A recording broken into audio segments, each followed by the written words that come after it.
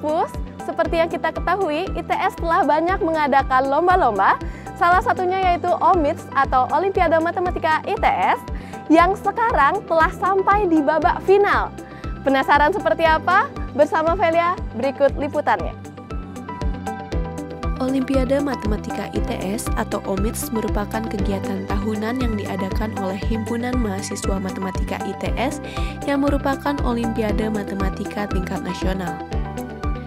OMITS diikuti oleh siswa jenjang SD, SMP, dan SMA dari berbagai regional yang tersebar di seluruh Indonesia. Olimpiade ini mengangkat tema Magic yang dimulai pada tanggal 4 Agustus dengan babak penyisihan, dilanjutkan dengan semifinal pada 24 Agustus dan final pada 25 Agustus. Terdapat juga sub-event OMITS yaitu Mission yang merupakan lomba matematika tingkat nasional jenjang perguruan tinggi.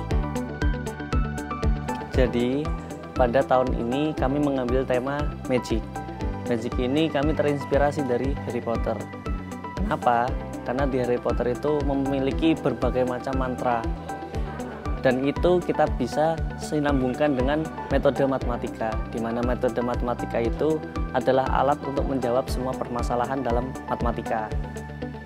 Terus, untuk tahun ini, kami yang berbeda itu di bagian seminarnya. Kami membuka seminar khusus untuk umum, di mana temanya itu revolusi peran matematika dalam revolusi industri 4.0. Di dalamnya juga kami ingin menginformasikan bahwasannya pentingnya peran matematika. Dan harapannya kami adalah semua dari masyarakat Indonesia itu paham akan peran pentingnya matematika sendiri. Entah itu dari uh, magicnya atau mungkin dari kualitas matematikanya tersebut. Pada babak final ini, para finalis tidak hanya mengerjakan soal, namun juga mempresentasikan jawaban yang mereka peroleh untuk jenjang SMP dan SMA.